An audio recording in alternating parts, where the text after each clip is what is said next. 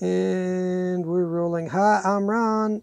Big bunch of love towards all y'all because today we're going to be talking about recovering from a bad trip. And I'm not talking about your shoelaces aren't tied and oops, I done fall down. I'm talking about your mind got a got, little got untied and you're feeling a little wobbly and you need a little help. Now, here's the deal. There, you're going to be all right. My first suggestion is stop doing drugs. Just saying, not hating, like, could be worse. But we're not about being avoiding the worst. We're talking here to get more better. more better. It's going to be more better. Okay, first off, your brain does like to repair itself. So, what it is, is get some sleep, get some food in you, go connect with good people uh, what is it? People, places, and things. The right people, right places, right things. Find yourself around positive things. The Bible, because that's what I is. This is a Christian perspective on fixing the fix of it is the spiritual fix a flat for your brain.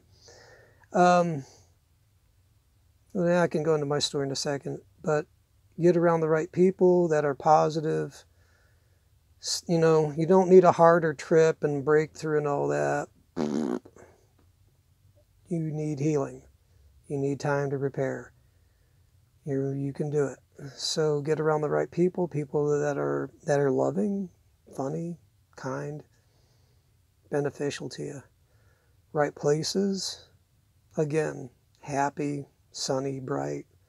Think on good things. That's what I was going to go at before. The Bible says think on good things uh, doesn't, doesn't necessarily have to be the Bible, but if they're good things, you look far enough, there's going to be some Bible in it, or Jesus, or love, because God is love.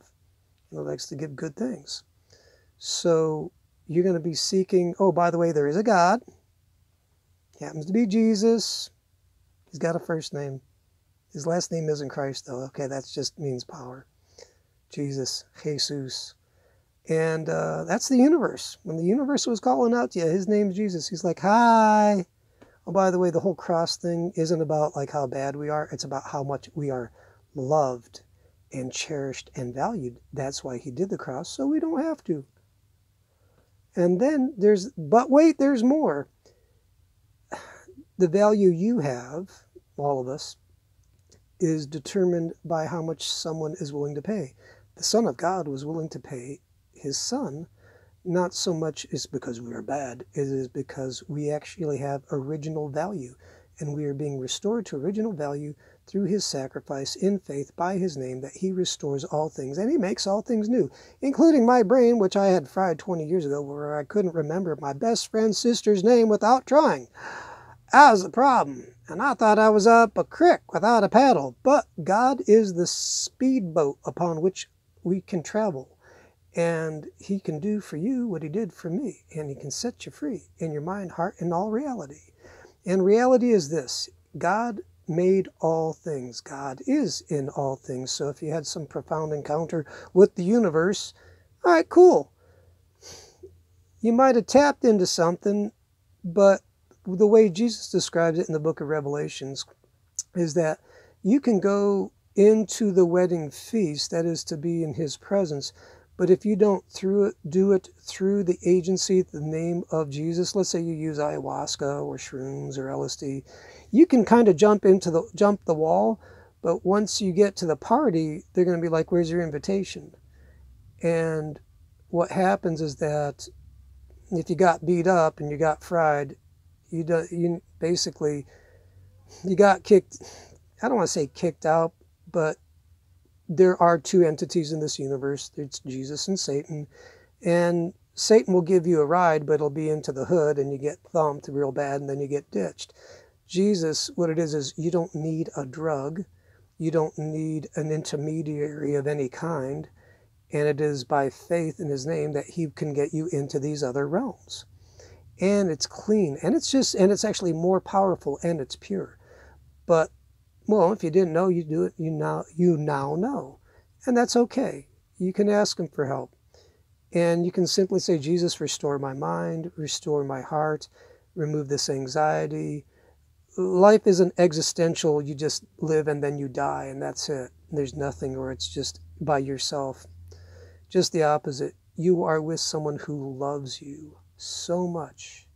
That is why there is the cross. God so loved the world, that's us, that he gave his only begotten Son, because it was the joy set before him. What's that joy? Us. That was what was set before him. That he endured the cross, despising the shame. That shame was like, oh, you ain't the Son of God, and you a fool, and you, you're Satan. No, that was the shame. And he's like, for the joy that was set before him, that's us. That's you. So put that in your brain, chew on that for a while. It's good for you. It's in the Bible. Everything I'm saying, you're going to find it in there. Put on some good music. Put on some good music. Get around some good people, places, and things. Because the Bible says, think on good things. That's from Paul. He used to be a hitman for the Lord, or at least he thought it was the Lord. He was an uptight dude, and then when Jesus came into his life and he was sober, he got, bam, he got changed in a heartbeat. It happened to me in the middle of the dirt field. And God took me to other realms that I had gone into through the drugs.